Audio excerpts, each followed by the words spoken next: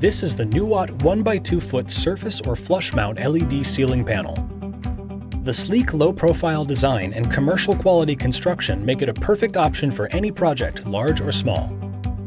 It comes in both black and white frames of the same size, so you can choose the right look for your space. The installation process is quick and easy. And there's no need to buy any additional surface mount kits because all the hardware required to install it comes included in the box. It also has a built-in 5CCT switch to adjust the Kelvin temperature of the light, giving you the flexibility to match the color of your Nuwatt lights with the rest of the lighting in your space. This is a 22 watt panel, and it's also CRI 90+, Plus, so colors are more accurately represented when illuminated by this light.